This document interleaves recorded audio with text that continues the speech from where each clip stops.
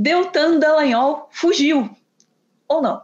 Depois de receber uma chuva de Pix do céu para pagar as, as quantias que ele tem que devolver a partir da sua atuação na Lava Jato, Deltan Dallagnol publicou um stories dizendo que estava indo viver novas aventuras nos Estados Unidos, mais especificamente em Chicago. Muita gente reagiu e falou: opa, peraí, tá fugindo do país? Deltan tentou se defender dizendo que foi só ali num evento e já volta. Será? Eu jamais vou desistir do Brasil.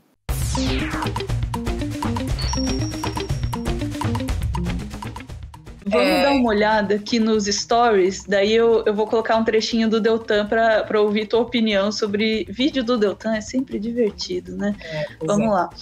Ó, a imagem do, dos, dos, stories do Deltan é essa daqui, Vivian.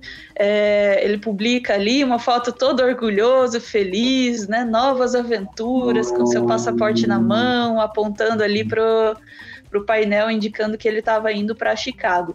Ele sabia qual era a, a, a reação que isso provocaria também. Vamos começar disso daí, né?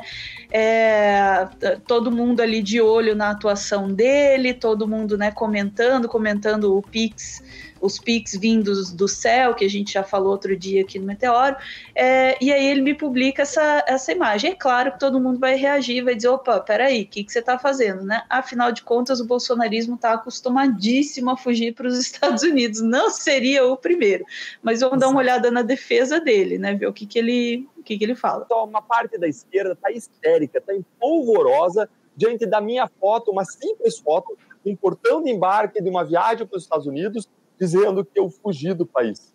Atacam a mim com aquela alegria deles, das narrativas mentirosas, dizendo que eu seria um fugitivo da justiça brasileira. Daquele jeito autoritário, bem deles mesmos, de quem fala com a boca cheia de democracia, mas realiza autoritarismo. Eles marcaram Flávio Dino e ministros do STF em postagens pedindo para que tomassem meu passaporte.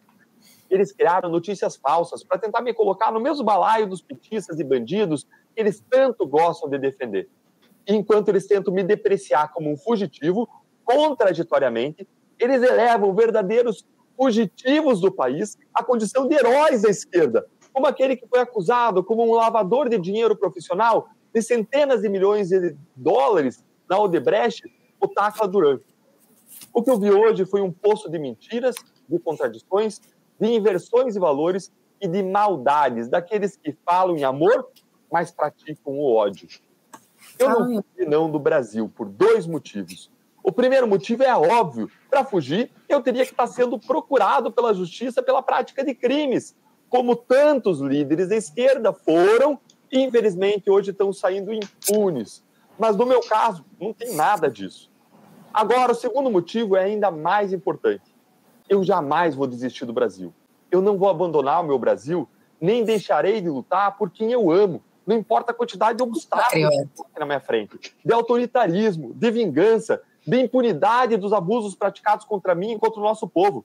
Aliás, isso tudo é justamente a razão mais firme para ficar e lutar junto com os meus irmãos brasileiros por mais democracia, por mais justiça e por mais liberdade. E por... Tá bom, tá bom. Já, já entendeu. Então tá. É, já entendemos aí o tom do negócio. É. É, eu fiquei com uma certa sensação de que Deltan plantou aí um negócio, né? Ele posta aquela foto, ele sabe que todo mundo vai reagir à foto, e aí depois vem com o seu discurso pronto ali, né? É, claro, com as suas contradições, né? Ele diz, ah, uma coisa tem razão, de fato, ele não está fugindo da justiça porque ele não está ainda né, é, sendo procurado, né? Ele ainda não é querido ali pela ainda, ainda. É, mas por outro lado, ele aproveita para dizer, ah, como líderes da esquerda, e daí já põe no vídeo dele, né? Ah, porque o Lula condenado, ele não diz o nome do Lula, né? Mas ah, condenado, não sei o quê, cadê? É, então, assim, o, o Lula, cuja condenação foi revertida, né? Foi, foi cancelada por falha no processo conduzido ali pelo Moro e pelo Dallagnol, ele pode chamar de condenado, mas dizer que ele está fugindo da justiça indo para os Estados Unidos não pode. É isso? Não, eu acho que tem, eu acho que tem essa tática, né?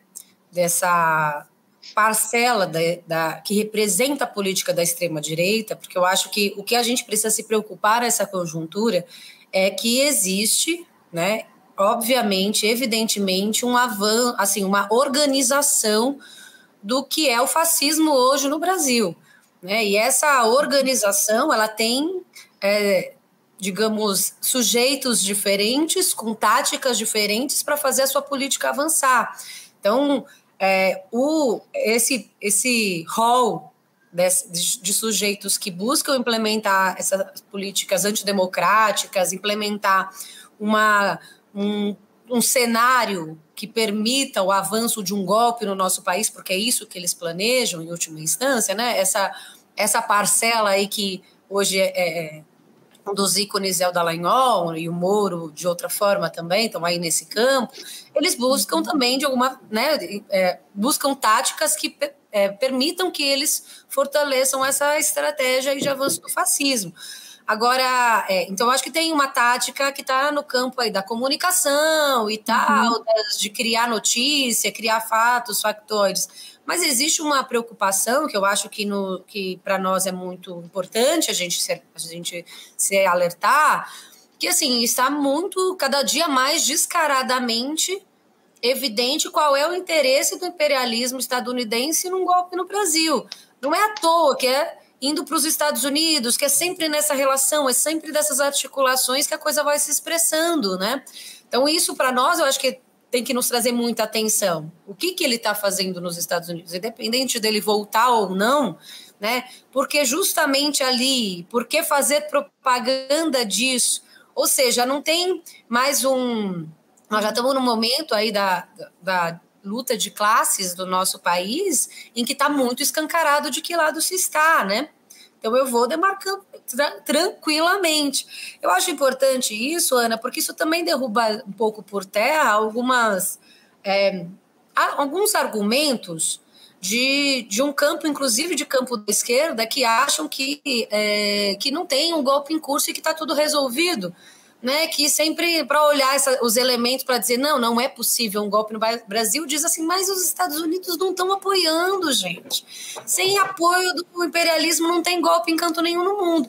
E eu acho que essas, é, esses elementos aí da conjuntura servem para nos dizer que sim, os Estados Unidos têm lado e a hora que for necessário eles não têm nenhum problema em apoiar um golpe no Brasil ou em qualquer lugar do mundo, como eles inclusive sempre fizeram. Né? Então, eu acho que esse, essa, essas sinalizações são muito importantes para nós. Então, ele diz o que quer, faz esse faz, ruim, né? Assim, é, brega, né? Eles têm, têm toda uma, assim, uma estética péssima, né? Mas o fato, Ana, é que assim, e, e o que me preocupa também por outro lado, assim, nosso campo, é que esse negócio meio assim, meio ridículo, que é um pouco ridículo, é, uhum. nos desarme do que está acontecendo, sabe? Porque quando o Dallagnol, quando começou essa confusão toda e que ele começou a ser acusado mais claramente, ele fez um ato em Curitiba. E eu uhum. comecei a acompanhar pela internet, nas redes sociais das pessoas de esquerda, mostrando fotos, imagens dele andando com um carro de som na rua e sem ninguém, mesmo, é verdade carro, uhum. um caminhãozinho de som, ele passando e falando. Mas ele fez uma manifestação com muita gente. E disso uhum. ninguém falou. Em Curitiba se reuniu muita gente numa manifestação que ele chamou. Nós precisamos estar alertas. Eles foram derrotados nas urnas e, claro, que toda derrota jurídica é, para nós é muito importante mas não está, isso não é o suficiente hoje para a gente dizer que o fascismo está destruído no nosso país, muito pelo contrário. Né? Então eu acho que a gente, é, a gente precisa olhar para além da estética. Né? Uhum. A gente precisa olhar uhum. para além da aparência da coisa né? Porque senão a gente vira uma torcida organizada de que o fascismo vai ser derrotado. Eu vejo um negócio, acho ridículo, falo, tá vendo? Não liga, não se importa com isso. E nesse não se importe com isso, Bolsonaro, que foi 30 anos deputados, deputado, assim, e nós, familiares de mortos e desaparecidos políticos, né, lembrando aqui que eu sou também dessa comissão, nós sempre denunciamos todos os absurdos que eles falavam, que ele falava lá enquanto deputado federal, e, uhum. É, e essa esquerda institucional dizia para nós não se preocupem porque ele é louco. É ninguém liga porque ele fala, ele é patético, ninguém se importa. E com essa é, despreocupação com uma coisa tão grave, por ter uma estética, uma aparência uhum. muito ridícula, os caras foram construindo uma política. Então, assim, queria alertar, vou, posso até fazer algumas piadinhas da realidade, mas isso não pode, porque eu acho que Rita também faz parte, mas isso não pode, de forma nenhuma, é, no, nos relaxar e, e, e nos permitir fazer uma avaliação despolitizada da conjuntura, né? Porque é patético e ao mesmo tempo gravíssimo. Ele está nesse momento nos Estados Unidos, né? Então Genial, Vivian. E, e, o que você apontou lá mais para frente no, no vídeo, ele fala sobre o evento em que ele, em que ele vai participar, né? E fala que é de uma, de uma instituição católica, tem, tem uma vibe católica ali no negócio, é, e que ele vai é, falar sobre as dificuldades que o Brasil está passando, né? Sobre como resistir àquilo que está acontecendo no país.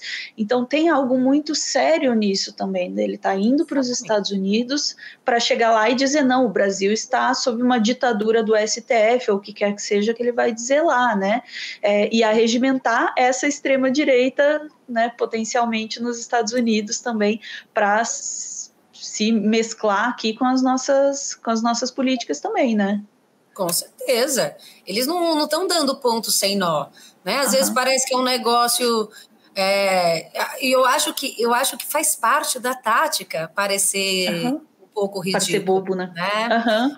É. Eu, lembro na, na época da eleição, eu dei uma entrevista num outro canal e um entrevistador falou para mim assim, porque eu tinha acabado de ter uma polêmica com a Janaína Pascoal no, no único debate que eu consegui participar, porque o processo é muito desigual. Mas aí acabou que deu uma expandida, as pessoas viram, né? E ele falou: Olha, mas eu conheço um cara que estudou com ela e diz que, por incrível que pareça, ela é uma pessoa inteligente. Eu falei: Não, mas eu não tenho dúvida toda essa estética neurótica, é, assim, descompensada, isso tem, isso faz parte de uma tática, né? E às vezes parece que a gente, é, assim, não sei se por para poder dormir mais tranquilo, tem uma parte da, da, esquerda que eu acho que é assim, né? Vamos ver se a gente não fala que vai ter golpe, porque é para ver se ele não acontece. É quase um negócio, é uma, um negócio metafísico, assim, né? Aí a gente vai meio comprando isso, de que eles são ruins demais para tomar o poder, e tá aí, ó, Bolsonaro eleito, é. né? 700 mil pessoas é. morreram por responsabilidade dele, e, e nessa brincadeira, né, os caras vão conseguindo, conquistando o que, o que eles buscam, né? Uhum. Desse jeito. Quem era a ministra mais ridícula de Bolsonaro? Mares. A Mares era mais ridícula, a patética, a de Jesus uhum. na goiabeira eu sou capaz de dizer que, acho que o Ministério, claro que do Paulo Guedes, né, tipo, cumpriu os seus objetivos, obviamente estamos aí amargando essa merda graças a isso, mas o Ministério da Damares, eles alcançaram os seus objetivos, eles desmontaram todas as políticas de direitos humanos do nosso país. Com essa roupagem excêntrica e patética e muito doida, uhum. falando homens usam azul e mulheres usam cor-de-rosa, eles implementaram as políticas, eles destruíram as políticas de direitos humanos, as políticas de memória, verdade e justiça. Né? Então, uhum. vejo que precisamos ter muita atenção. Eu. E acho que, é, como a gente está nessa coisa do meme, que eu acho legal, eu, eu não fico difundindo, eu, mas eu gosto de me divertir. Mas eu acho que a politização tem que estar tá na nossa cabeça, sabe? Tá certíssimo. É, e é justamente através dessa, desse tipo de comunicação que eles se, se ergueram, né? É, e enquanto a gente está achando que eles são loucos, eles estão lá. 8 de janeiro, é, é, ah, não, é tudo uns, uns loucos que estavam. É. Sim, tudo uns loucos que invadiram uh, uh, uh, os, os, poderes, do, sabe, os prédios dos poderes. Então, assim, louco, louco não é não é inofensivo, não é claro. engraçadinho, fofinho de estimação, não. Tem atuação e política ele, também. E eles estão ali para justamente servir como um véu, né, para alienar a nossa avaliação sobre quem está por trás. Quem está por trás? articulando isso. Né? Existe uma articulação e eles ajudam a velar isso. Né? Então, e eles têm sido muito eficientes, Ana. Essa é que é a questão, eles têm sido bastante eficientes.